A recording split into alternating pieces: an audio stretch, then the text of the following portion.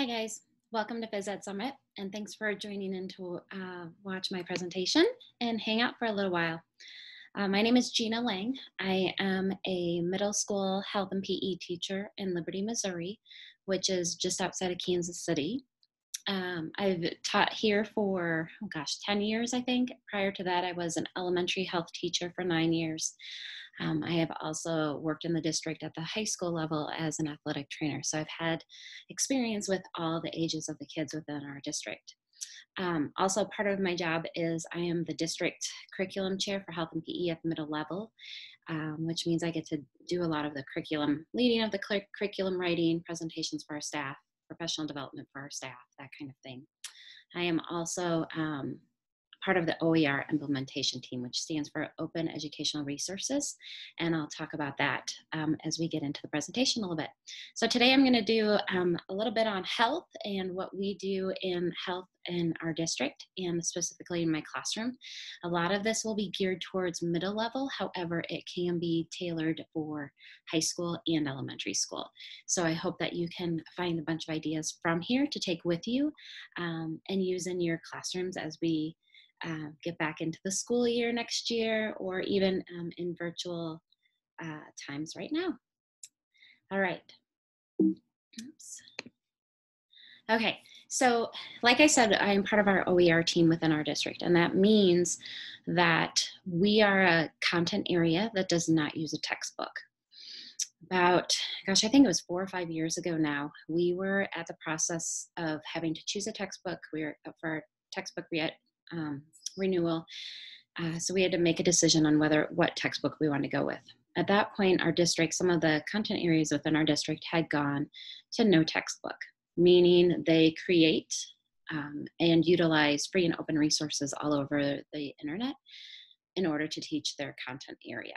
And so we pulled together a group of teachers within our district, um, one from each middle school building, and we kind of hashed out the idea and talked through it a little bit. And you'll see in this picture over here, this was kind of part of our brainstorming session. Um, at that time, we'd also decided that we wanted to go to skills-based health and kind of change up the way that we teach. Now, when we teach health in our district right now, we're teaching the skills, but we're infusing content in there. So our primary thing is teaching them decision making, goal setting, analyzing influences, those type of things. And we're sticking the content that we're used to teaching back in there. Um, assessments, you'll see as we kind of talk, are most of the time on the skills and then some of the time on the content. So basically our, um, the curriculum group that met decided this was the, uh, the direction we would like to go and then we took it back to our buildings and let every um, teacher within the four buildings have a say in what they wanted to do. And it was um, an overwhelming yes, that people want to go without the textbook because we're finding as we start to get into the textbook, things become outdated and we're not even really utilizing them uh, to the max that we could be. And so it becomes a place where our district can put the money other places. So our curriculum is totally free and available for anybody to use. It is all teacher created and pulling in different resources from the internet, but a lot of it is teacher created. Um, so you'll find the link right here and it is always open and free for you guys to use. You can go in and make copies of things. Um, we can't give you editing access, but you can go ahead and make copies of anything that you want to use and know that it is a working document. We are always working to change, better, um, and improve what we do. So you're welcome to use that um, at any time. Okay, so this is um, this I have a bunch of video clips in here that I wanted to show you and use. And as they were uploading this presentation, I was getting blocked on everything. So you will see a lot of things in here that I will tell you there's a clip to go with it. And the clips are in the file sections of where you can find them to go along with this presentation. So my original presentation, the slides and all of that are in the file section and everything will have the clips that go with it. So anywhere it says links and files, that's where you'll find it. Um, I am a big believer in telling my students the why behind everything. I think back to when I was in high school and college and I was a runner and I ran track and cross country. And I remember being told, today we're going to do five 800s or we're going to do four one mile repeats. I never understood why. I thought it was just that was our workout day and this is what I'm going to do because this is what my coach is telling me to do. as I got older and I started to take control of the running that I do and the workouts that I do, I started to understand the why behind those repeat 800s and those repeat miles and those speed work drills that I had to do. And so um, that has brought a lot into my teaching. And I am a huge believer in always telling my kids why. Um, so there's this great video clip called The Why that's out there um, where this presenter tells the guy in the audience to sing Amazing Grace. And so he sings it. And then he gives him, he said, That's great. You're, you've got some talent. You're a good singer. And then he said, I want you to sing it now like this. And he gives them like a feeling that he needs to feel as he sings it. And then he goes on and sings it a second time. And it is completely different, Amazing Grace, than the first time he sang. Um, the audience is standing, people are clapping, everybody's in awe because when this guy had a reason and had a why for what he was singing, it was so much more meaningful and so much better. And I think that goes along with education too. And so, especially when I'm teaching skills based health, I'm giving them the why all the time because they're going to be like, why do we have to do decision making? Why do we have to talk about goal setting again? Well, there's a lot of reasons why. And I try to give those to my kids every time. And so I'll uh, present some of that to you guys too today. These are the national health standards. They should look familiar to most of you, I hope. I am going to go through four of them today. I have activities that go with the other three, but um, due to time, I'm just going to kind of give you all of my activities that I've done for analyzing influences, accessing information, interpersonal communication, and decision making. And then I'll show you how we weaved in some of the content to go with that. Okay, decision making. These are the skill cues, and I start every unit um, with some sort of um, kind of catch for the kids to get in hooked in and to um, get the reason why we're doing that activity. So you'll see down here, there is a clip from a famous TV show um, that is phenomenal. And my kids love this show. They, um, they just anytime I can show clips from this or a few other shows, that they are just zoned into it. And so in this clip, they have a big old drill that happens and everybody starts to go crazy and everybody's running around and there's no real plan there's no real idea what to do nobody's really taking control of the situation. So we watch that and then we talk through um, were good decisions made in this video clip or not. And so we that's how we introduced the decision making model and the decide model. We determine the problem they find out that there was a fire they examine the options. They see a ton of different options that happen within this clip. Um, we don't talk at this time of whether or not they're good or bad options. They're just looking at all the options that are happening. Then they're going to consider the consequences. So they're going to look at we talk about a lot about positive and negative. What are some positive things that happened when they did this or could do this and what are some negative things that happened Identify values or influences, which is really tough. Um, values is a big word for sixth grader and seventh grader and even eighth grader to understand. So we dig into that a little bit and then talk about the influence it could have talk about the healthy decision healthiest decision that they can make and then and this one we kind of go through and say well were there really any healthy decisions that were made? And then evaluate the outcome which we can actually do in this because uh, they get to kind of see how the whole thing wraps up at the end. So i'm a big believer in using um, any sort of tv movie um, any sort of video clips to kind of hook them in to what we're going to talk about and then we get into lots of different activities. Um, so I'm going to give you some examples of some of the activities that we do within my class uh, that are free and out there for you to use and that my kids love. So this year we uh, did a couple different breakout activities. Um, in the past, I've had breakout boxes, and I got all the locks and I set them all up, and we had um, a different scenario that they had to get through to get their box open. And in the process, they had to use the, just the steps of the decide model in order to get their box opened and they would work in groups to do that. Uh, this year when i was planning that part i saw there's a ton of electronic kind of breakout rooms out there and so i found a great one on teacher pay teachers that you'll have to pay for um, but it's kind of different puzzles they have to solve and so I kind of set them up in groups and give them envelopes, and they have to go through one envelope and solve the problem and show me that they got it. And then they get to move on to the next envelope. And I talk to them a lot about yes, everything in the envelope has to do with bullying because that was the content that we were putting in with um, decision making at that point. But what I'm really watching for is how your group is interacting and how you're using the decide model to solve your uh, breakout activity. And so as I walk around the room, that's the thing I'm looking for. I'm looking at their conversations. I'm looking, are you talking about the positives and negatives that could happen? Um, are you listening to everybody's opinion? That kind of thing. So super fun activity. They love anything that's a breakout activity. And there's tons of them out there. There's even some that are more electronic that they can do on their computers if you're a one-to-one um, building. Brain games. Well, let's start here. That after I've done the video, I um, really get into the teen brain, and we talk a lot about the why behind how they make kids make decisions.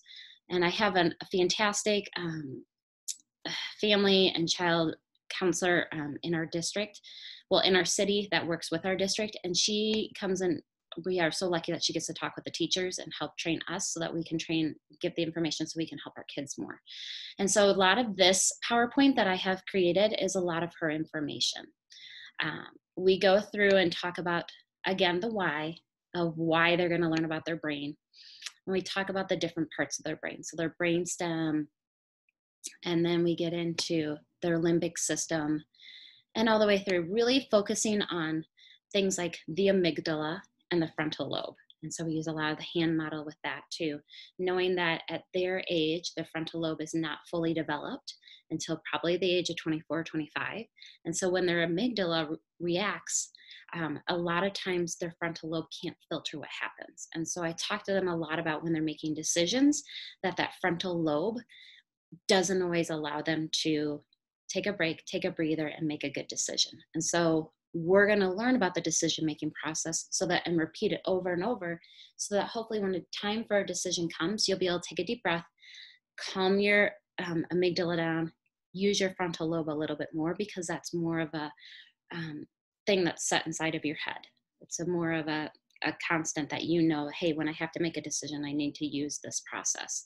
And so we go through all the different parts of the brain and talk about oops, and talk about why and how it happens um, and that kind of thing. So I think that's super important before I talk about decision making that um, they understand that. Uh, and then we go into some uh, brain games which are super fun. Um, and these are links to some of our favorite ones, and I'll put those up on the screen. And this is a great way to end end a day, um, especially if you have a few minutes left in class, where they're able to um, play some of these games. Our favorite one is Guess the Color, which is like that mastermind game that they, I played when I was younger, where you have the little, um, it's like a long board, and then there's four spots for pegs, and then hiding underneath the one up here is um, like a combination of four different pegs. So it could be like red, white, red, white, or blue, blue, blue, blue. And anyway, they get their different chances along the way to make their, um, try to decide what is hiding underneath the little hiding spot. And so we play that as a class because we can put it up on the screen so that everybody can see it. So that's a super fun activity that um, my kids love. All right, uh, as far as a, a project, this is a decision-making project that we do. And this is their planning sheet. And so uh, they have to write a scenario in which a character needs to make a decision. And then they have to give that information um, and to show the rest of the class kind of what what was your situation what was the decision that had to be made and they can demonstrate that through lots of different ways. And so i've offered them Powtoons um, we did a choose your own adventure one time where a lot of kids wrote little stories that went along with it so that the reader could kind of choose their own adventures along the way. Slideshows Prezis uh, lots of role playing skits that they like to do, um, comic strips, and I even had a few kids do monologues where they kind of wrote out a whole one page paper and recited the monologue. And the idea behind this was to be able to give it to younger kids so that they could work on how to make a decision. And so we would be able to send that down to, I think at the time I had a kiddo in fourth, my own kiddo in fourth grade, and we'd send that down to his classroom to look at and to use. Um, so it's kind of fun. But this is their project sheet to help them through it. and then their final project was whatever um, they wanted to create to demonstrate their information. Okay, and then as far as I talked about adding some PE things into here because we try to carry what we're doing in health into PE too as much as we can. And I saw this um, from Rachel on uh, Twitter at one time, and so we took it and adapted it to what we were doing in class. And so I'm fortunate that I have a full weight room and with dumbbells and just a lot of benches and a lot of space for the girls to be in. And so I created a choose your own adventure workout for them, and they worked their way through using their decision making process and what their body needs and what their fitness needs at that point to do the different workout. And so we just start off, everybody start off with 50 jumping jacks, and then it broke off from there, and they had to make decisions based on what their body needed. It's a great warm up, it's a great full day activity. You can change it to fit what you have available in your school and what your kids are used to. Okay, interpersonal communication this year, I combined it with um, decision making only because I kind of heard what was coming with this um, COVID stuff. And so I wanted to make sure I was able to get all of my health stuff in before we went on spring break because we didn't know what um, would happen after spring break. And so it, those two combined worked perfectly this year, and I kind of liked it and may do it again. But on its own, I'll show you some of the activities that we did. And so I love this one because I think it fits in so well with middle schoolers. Um, when we go through all of these steps, identify their feelings, tell them, express using I statements, and we practice those I statements because it's hard for them to use it and hard for them to think on the spot. Looking at the person, um, when especially we did a puzzle activity with this one and they had to be able to look at the person while they were talking because i find so many times their head is down their head is looking around the room and so really trying to take more of their attention and looking at that person listening to the responses appropriate body language so you're not slumped in your seat arms aren't crossed and we go through lots of those different ideas and we do a lot of role play with this um, open-minded and then assertive communication uh, so I use, there's so many parts to interpersonal communication, and I use, um, again, some more video clips to help drive home the points for my kids. So when we are talking about verbal and nonverbal communication, I use a great clip um, from this show and uh, it is set up especially for this. And so you can imagine in that show that some of the people have some really great nonverbal communication, and they're funny, and the kids know this show because they're watching it on Netflix or we're watching it on Netflix, um, and so they kind of get into this too. But it's a really blatant way to drive home what nonverbal communication is. And after we show that um, as an exit ticket that day, I would give them this comes. So they just have to be able to tell me what is a verbal message they've given today, what is a nonverbal message they've given, what is a verbal message they have received, and what is a nonverbal message they have received. And so, um, especially at middle school, we'll talk a lot about eye rolling or hugs or high fives as being good nonverbal messages.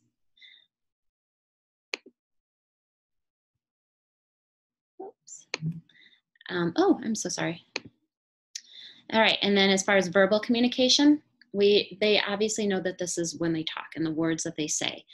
And I like to talk to them a lot about how sometimes in my head, I really think that I'm teaching really well and I'm explaining it to the kids really well and everybody's understanding it and it's going awesome. And then I give them a little quiz and I find out nobody understood or nobody got it. And a lot of that is because our um, my verbal communication is not what they need. And so we watch this clip here from a famous late night show. And again, this is linked on the files. And um, it's who's on first, the kind of little bannering joke back and forth that they do.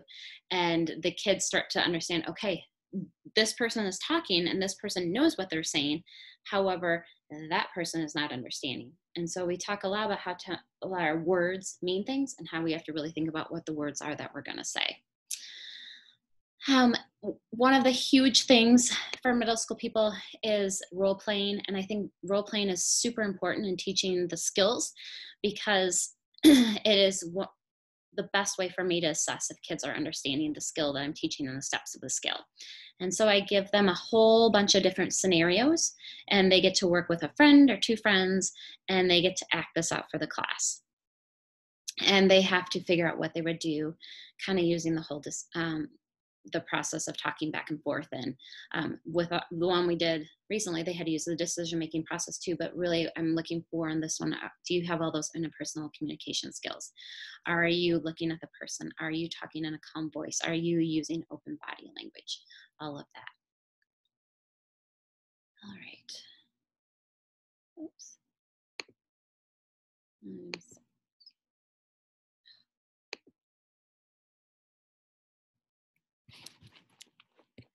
See if I can get this to switch better. I apologize.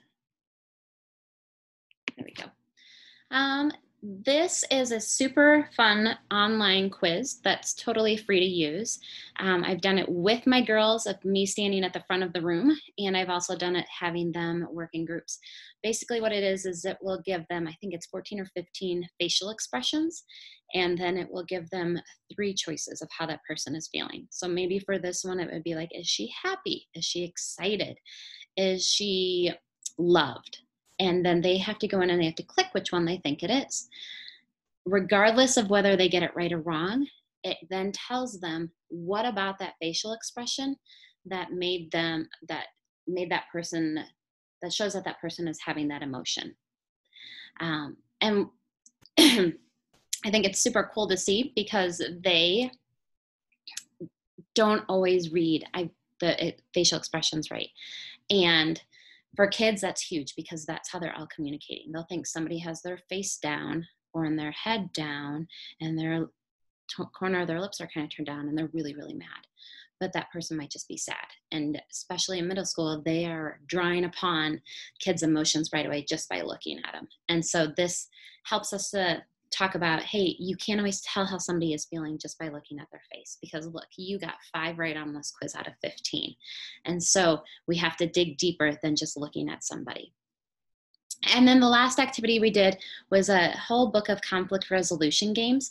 And this whole book is totally free on the internet and the link is here for you guys to use. I use an activity called on the run and um, we uh, they had to go in and there's like different categories and then things that go underneath each category. So I might say like you have to find the person's name, the type of shoe that they run in, why they exercise, and how old they are.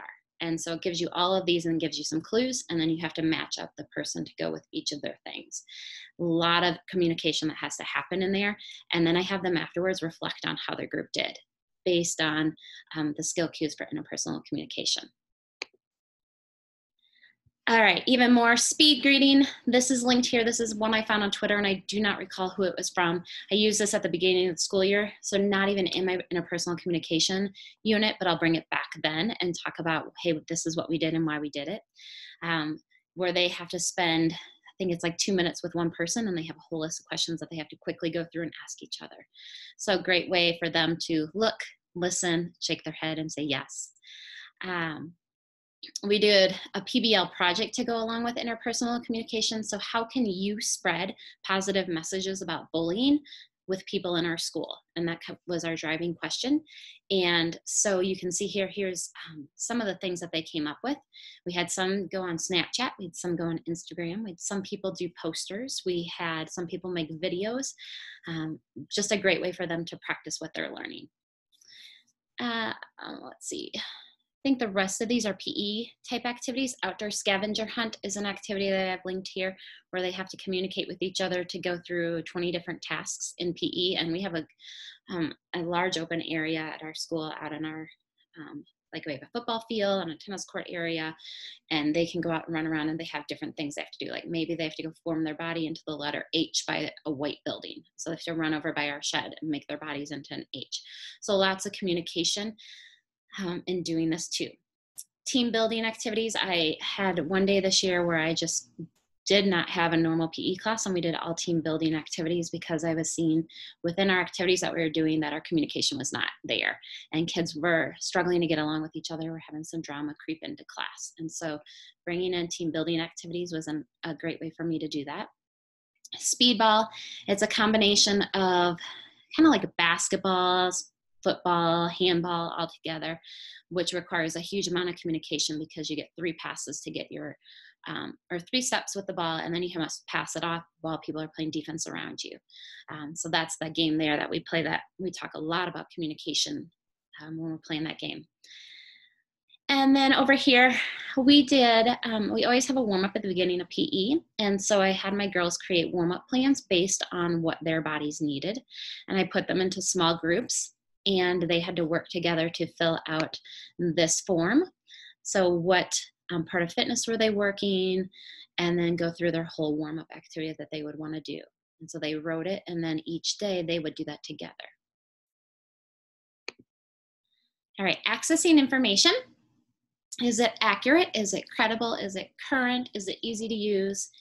What info situations is it used best in? I have found that a lot of my kids come in with a ton of background in this skill. Our librarian and our ELA teachers are huge in helping kids to understand how to do this. So when they're doing research papers or they're just searching the internet for information that they might need for ELA. And so I am able to really um, dig into this even deeper with my kids because they already get it. And I'm even able to dig more into the content that we're pulling in with this.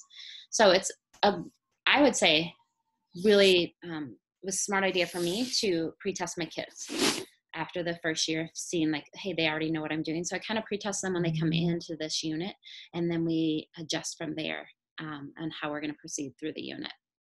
So activities that i've used another great um, link is here. It's um, on shows a bunch of different real things that could happen in the news and then fake things that happen in the news and kind of gives them some little tips to figure out whether things are fake or if they're real.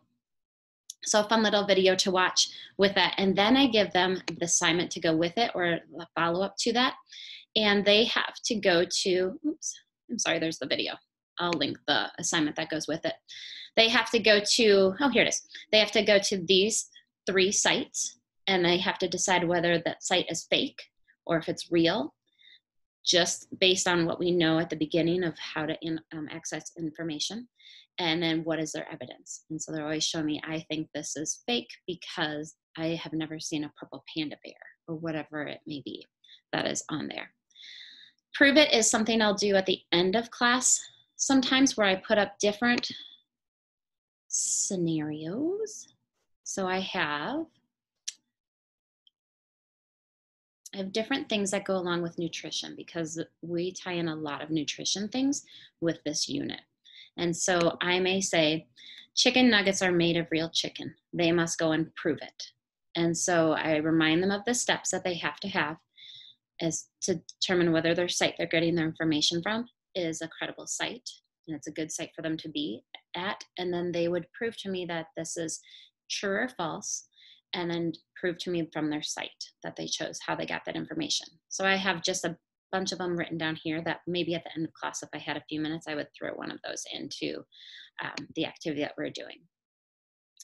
Food label search because we pull nutrition into this, um, so we're looking at accessing information off of a food label, so trying to make this as real life for them as we can.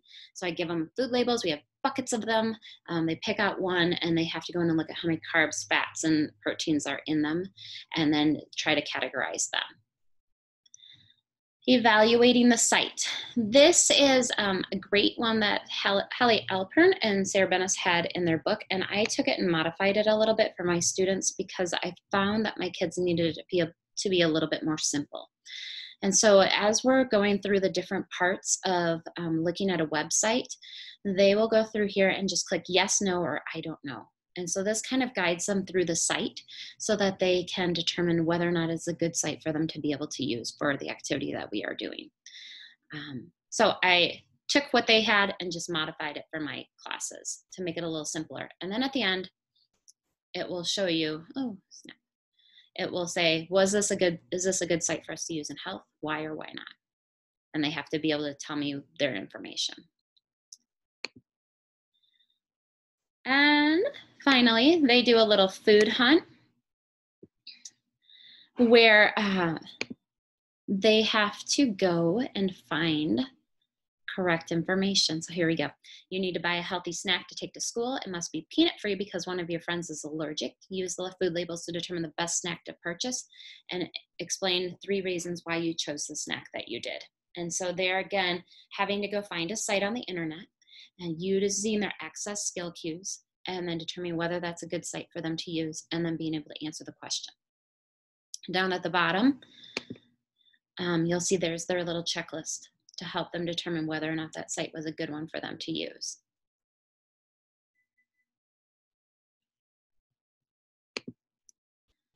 All right, more accessing information. Uh, final activity that we did, which was kind of fun because they got to go in and look at this food that is eaten in our cafeteria. So our school website puts all the nutrition information for our foods that are served in the cafeteria online. And so they're able to go into that site, um, determine whether or not they think it is accurate, reliable, that kind of thing. But then they have to go and look at list, list one food um, here that would be the most unhealthy lunch choice you can make. They chose the food that because their evidence, search for websites that back up the claim. So I can't just say, well, because um, it looked like on this website it had 30 grams of fat. Well, I want them to go find another website to help prove that they that this food is unhealthy for them and then their reasoning. So like I said at the beginning, because my kids have so much background in accessing information, I am able to dig a little bit deeper into the nutrition aspect of this with them. And I love that.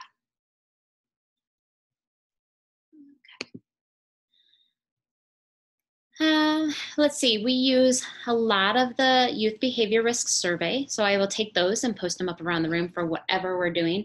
And that's a way for them to go access different types of information, especially in the graph format or um, like the color coded state format that is out there too.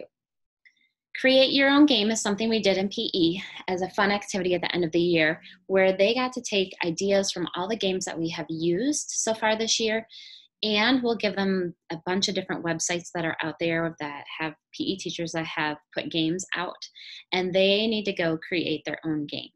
And so they have a format that they have to follow, which is linked here, and they have to list the goal of the game, how to play it, equipment that is needed, rules, um, just different things that could go along with the game and then they get to create their own game. So they're really accessing information from what we've done in class but then also they have to go out and find other games that exist and see if they can create one on their own with it.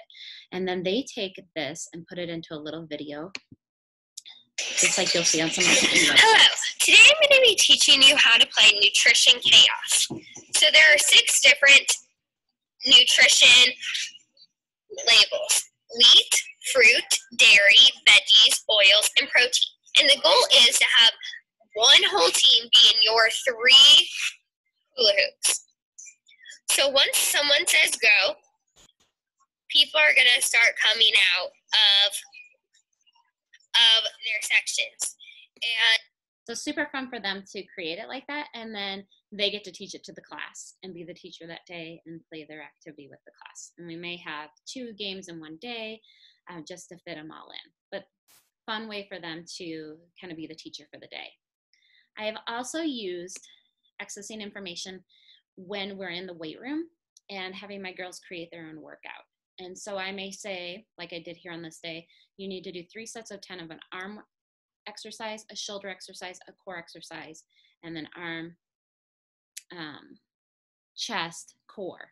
And they have to go through and pick. So then I give them websites oh, that's their chart that they can go put it in. So they would write their activity here, upper body, lower body, and then track it that way.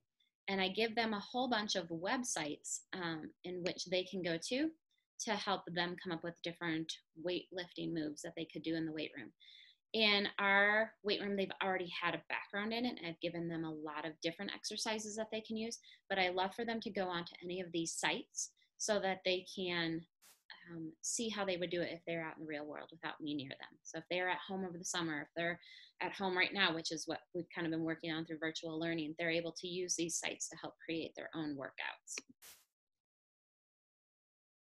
And then one thing that was very fun is we took a current event article and it was about cell phone use and read it in class one day. So they accessed information out of this cell phone article, and then they ha- chose to apply it to their lives. And I love how they chose here, and that this group of girls um, wanted to set up a challenge for themselves that they would stay off their phones for 24 hours.